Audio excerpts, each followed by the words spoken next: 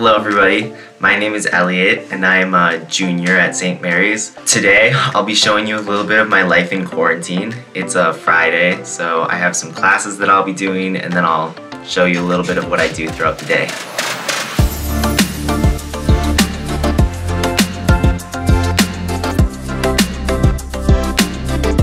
My first class of the day is art. Our professor sends us assignments and then we draw them in our notebook and send him pictures. Uh, this one is supposed to be a tool with the negative space around it filled in.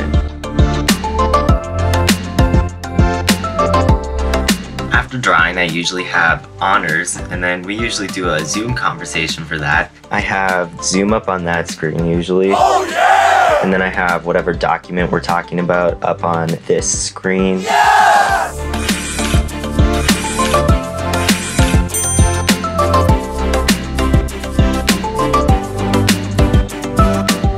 I'm now done with my classes for the day. I just finished my last class. So I thought I would go and take a walk and I'll take you guys with me for a little bit. It's a little breezy. The sun is finally kind of coming out. But yeah, that's that. Hopefully you guys enjoyed coming along with me for the day and hopefully I'll see you in the fall.